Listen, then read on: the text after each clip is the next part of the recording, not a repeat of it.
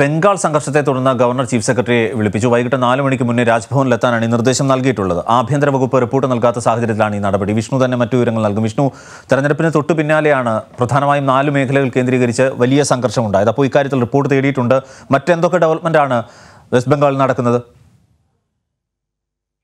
അരുൺ തെരഞ്ഞെടുപ്പ് ഫലം വന്നതിന് ശേഷം വലിയ തലത്തിലുള്ള ഒരു അക്രമ സംഭവത്തെ തന്നെയാണ് ബംഗാളിൽ അരങ്ങേറിയത്. നിലവിലെ സാഹചര്യത്തിൽ ഇപ്പോൾ ഈ സംഘർഷങ്ങളെ തുടർന്ന് ബംഗാൾ മമതാ സർക്കാരും കേന്ദ്ര സർക്കാരും തമ്മിലുള്ള ഒരു തുറന്ന ലേക്ക് തന്നെ കാര്യങ്ങൾ പോകുമ്പോൾ അതിന്റെ ഇപ്പോൾ ആ, ബംഗാൾ ഗവർണർ ചീഫ് സെക്രട്ടറിയെ വിളിച്ച് ആ, വിളിച്ചു വരുത്തിയിട്ടുണ്ട്. ഇന്ന് വൈകിട്ട് ഏഴ് മണിക്ക് മുന്നേ രാജ്ഭവനിൽ എത്താനായിട്ടാണ് ചീഫ് സെക്രട്ടറിക്ക് ഒരു നിർദ്ദേശം നൽകുകയും ചെയ്തിരിക്കുന്നത്. അതിന്റെ ഒരു കാരണമായി ഇപ്പോൾ ഗവർണർ ചൂണ്ടിക്കാട്ടിയിരിക്കുന്നത്.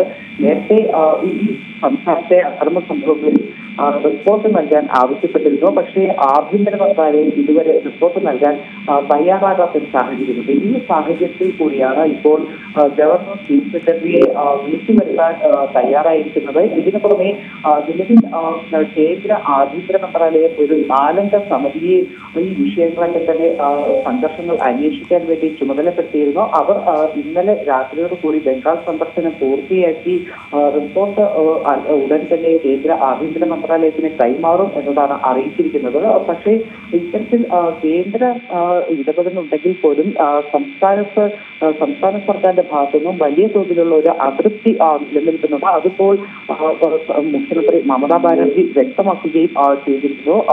മമതാ ബാനർജി അല്പം മുന്നേ ഒരു പ്രതികരണം നടത്തിയത് ബംഗാളിൽ ഇത്തവണ മമതാ സർക്കാർ വീണ്ടും അധികാരത്തിൽ വന്നു. പക്ഷേ പുതിയ സർക്കാർ അധികാരത്തിലെത്തി ഇരുപത്തിനാല് മണിക്കൂർ തികയുന്നതിന് മുന്നെയാണ് കേന്ദ്ര സർക്കാർ ചില ആളുകളെ ബംഗാളിലേക്ക് ഇത്തരത്തിൽ അന്വേഷണത്തിന് എന്ന് പറഞ്ഞിട്ട് ബംഗാളിലേക്ക് അയക്കുന്നു. അതോടൊപ്പം തന്നെ റിപ്പോർട്ടുകൾ തേടുന്നു. ഇത് അംഗീകരിക്കാൻ കഴിയുകയില്ല. ഇപ്പോൾ അധികാരത്തിൽ വന്നിട്ട് ഇരുപത്തിനാല് മണിക്കൂർ മാത്രമേ ആയിട്ടുള്ളൂ. പക്ഷേ ബി ജെ പി ഇതുവരെ ജനവിധി അംഗീകരിക്കാൻ തയ്യാറായിട്ടില്ല. ബംഗാളിൽ തിരിച്ചടി അംഗീകരിക്കാൻ ബി ജെ പി ഇതുവരെ തയ്യാറായിട്ടില്ല. അതുകൊണ്ടാണ് ഇത്തരത്തിൽ ഉള്ള നീക്കങ്ങൾ കേന്ദ്ര സർക്കാർ തന്നെ നടത്തുന്നത് എന്നൊരു മറുപടിയാണ് ഇപ്പോൾ മമതാ ബാനർജി ബംഗാൾ നിയമസഭയിൽ വെച്ച് നടത്തിയിരിക്കുന്നത് അരുൺ